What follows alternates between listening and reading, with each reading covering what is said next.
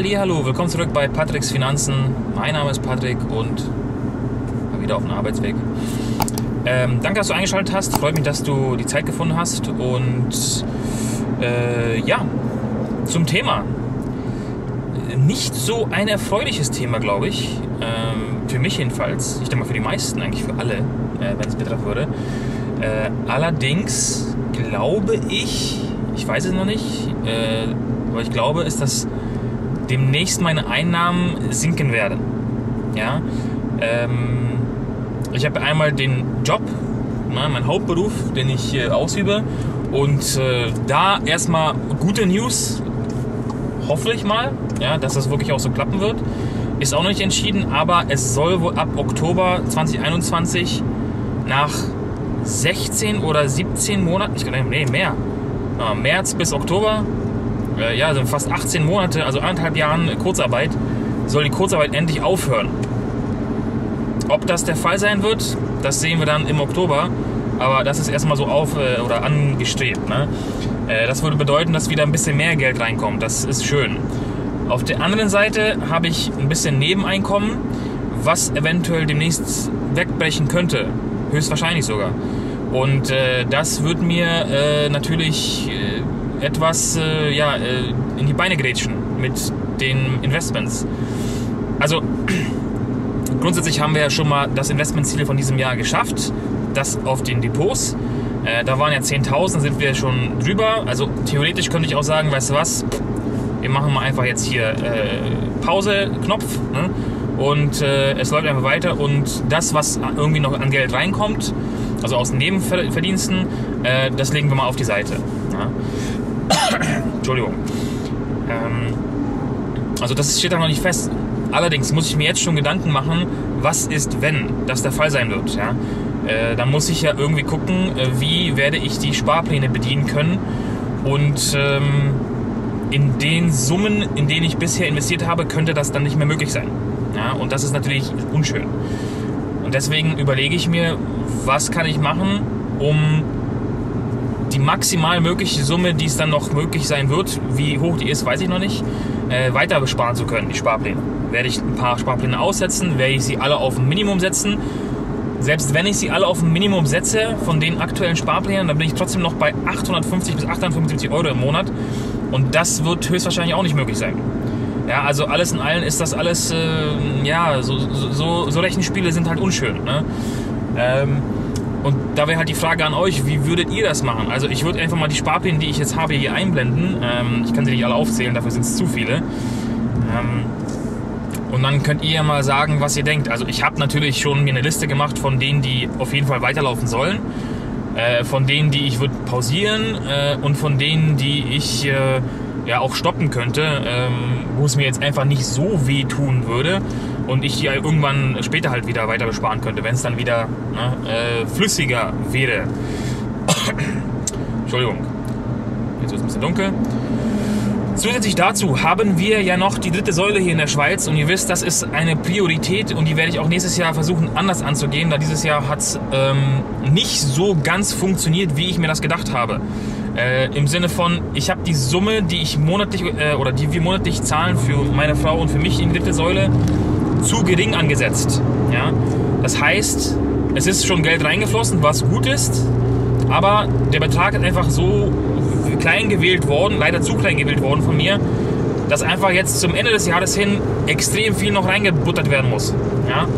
Nur mal so zur Größenordnung, es sind noch ungefähr 8000 Euro, die reingeballert werden müssen, was nicht geil ist. Ja? Äh, insgesamt sind es knapp äh, 13.000 Euro, wir haben jetzt knapp 5 schon rein, aber es sind immer noch 8.000, die ausstehend sind und äh, 8.000 geteilt durch vier Monate, die wir noch haben, bedeutet, wir müssten rein nach der Rechnung her 2000 Euro pro Monat reinknallen. Und das tut jetzt natürlich weh. Ne? Das heißt, ich muss mich jetzt wirklich stretchen und wir müssen jetzt wirklich gucken, wie, was, wo, dass wir das noch reinmachen, weil das ist muss rein. Ja? Also dieses Geld muss noch investiert werden in die dritte Säule äh, über die VIAG, damit wir halt die Steuerlast äh, reduzieren können. Ne? Und ich will einfach nicht mehr Steuern zahlen als muss. Und gleichzeitig kann ich ja auch was fürs Alter anlegen, also für die dritte Säule, ne? Altersvorsorge, die private hier. und es hat noch Kurswachstum da drin. Ja, also das muss auf jeden Fall sein. Äh, vielleicht noch zum Verständnis, weil ihr sagt, ja, dann hast ja hier, hast ja Geld und da ist ein. Ich sehe das noch ein bisschen so äh, wie zwei Investitionen, die ich habe. Das eine läuft über Deutschland, ja, also dass die, die meisten äh, Investments laufen über Deutschland, über die Comdirect und die Consorsbank, über die Sparpläne. Und das Geld ist in Euro. Ja, und ich habe einen Verdienst, den, also einen Nebenverdienst, der kommt in Euro rein.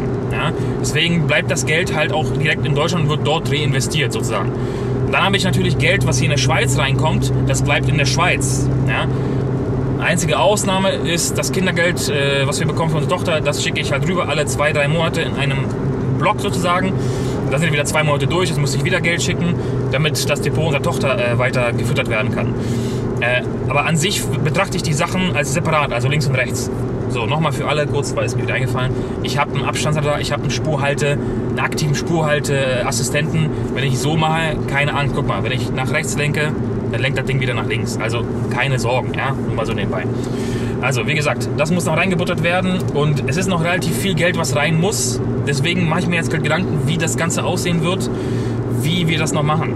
Fürs nächste Jahr ist jetzt erstmal angedacht, dass wir diese Summe von der dritten Säule, und das sind knapp 6.500 Euro pro Person, also 13.000 Euro aufs Jahr gesehen, dass wir das nicht mit einer kleinen Summe anfangen zu starten, sondern mit einer viel höheren, soweit möglich natürlich, damit wir zum Jahresende fertig sind, bevor das Jahr zu Ende ist, oder das wirklich so aufteilen, dass wir das genauso durch 12 machen und einfach jeden Monat genau ein Zwölftel einzahlen und dann am Ende nicht so einen Brocken haben. Vorteil habe ich noch, es kommt noch Weihnachtsgeld rein oder ein 13. Gehalt, ähm, was natürlich auch kleiner sein wird durch äh, Covid ne, oder durch äh, die Pandemie, weil wir ja auch ne, 20% Gehalt einbußen hatten seit Anfang des Jahres, also seit letztem Jahr, aber wenn wir aufs Kalenderjahr sehen, von Januar bis dann September, also fehlen neun Monate mal 20% sozusagen. Ja? Und äh, das fehlt natürlich dann auch im Weihnachtsgeld. Ja. Ähm, das wird noch ein bisschen helfen, äh, aber wir haben auch immer noch die Steuern zu zahlen. Die sind auch noch nicht gezahlt, da lege ich zur Seite.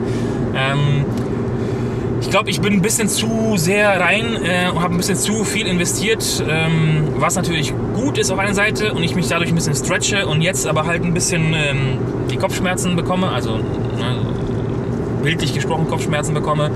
Ähm, dass ich mich stretchen muss und gucken muss, okay, ich, ich muss noch irgendwie äh, Geld verdienen jetzt, zusätzlich zum normalen Einkommen, äh, durch Nebenverdienste oder durch was auch immer, Affiliate, wie auch immer.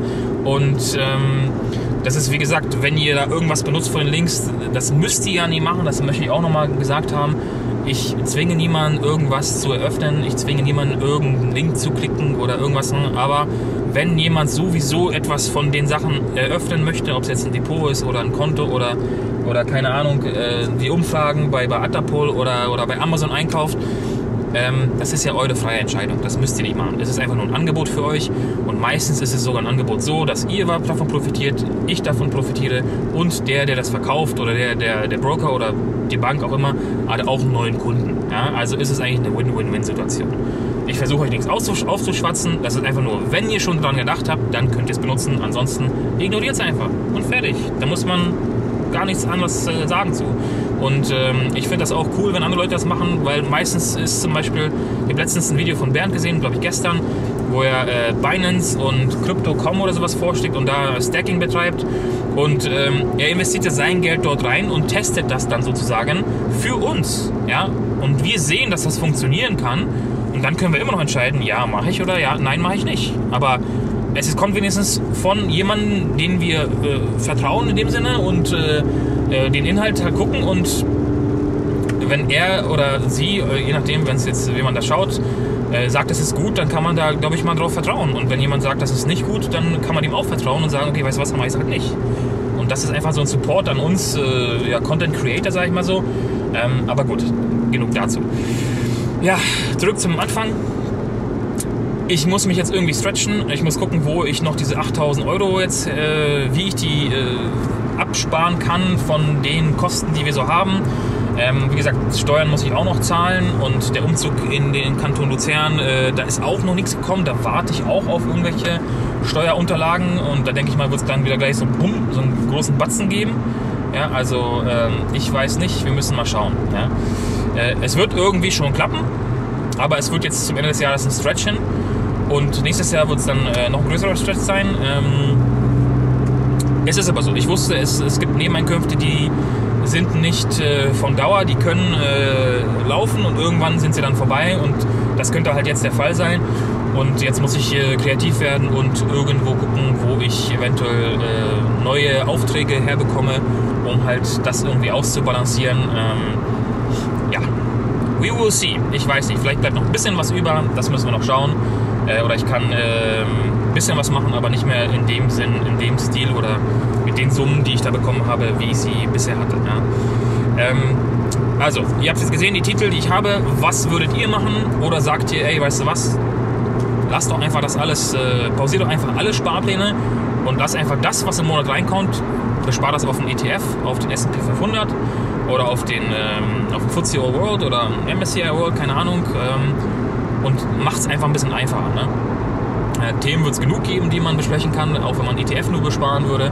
Ähm, das wird ein bisschen einfacher sein, weil dann kann man sehen, ey, in dem Monat kommt vielleicht 300 Euro rein, dann investiere ich halt 300 in den ETF, im nächsten sind es halt vielleicht 180, dann gehen 180 da rein. Ne? Und so kann man flexibel sein. Da muss man nicht jeden, jeden Monat die Sparpläne auf und anmachen oder äh, an- und ausmachen.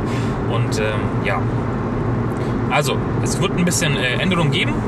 Ähm, aber das könnte auch temporär nur sein. Es könnte auch sein, dass äh, irgendwann nächstes Jahr doch wieder mehr Geld reinkommt oder das Jahr drauf.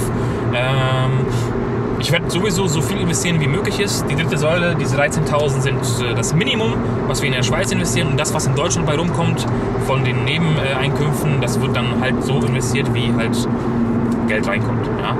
Ähm, es wird trotzdem noch eine Menge Geld sein, weniger als höchstwahrscheinlich dieses Jahr und letztes Jahr. Aber manchmal ist das halt im Leben so und äh, ich mache das Beste draus und ähm, vielleicht finde ich ja dadurch einfach eine neue Möglichkeit, die vielleicht sogar am Ende mehr Geld bringt. Das weiß man ja nie. Ne?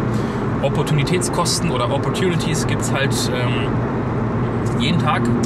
Man muss sie äh, finden und äh, am Schopf greifen oder wie heißt das? Ähm, ihr wisst, was ich meine. Mit, mit Sprichwörtern bin ich nicht so gut. Und äh, das war es eigentlich schon gewesen. Ich bedanke mich bei euch, wünsche euch noch einen schönen Tag. Könnt gerne ein Abo dalassen, wenn ihr möchtet. Äh, und den Kanal äh, supporten auf welche Weise auch immer. Ich habe es vorher ein bisschen angesprochen. Ähm, ihr müsst nicht, ihr könnt gerne. Ja. Also bleibt gesund, habt einen schönen Tag. Ich sehe euch beim nächsten Mal und äh, bis dann. Ciao.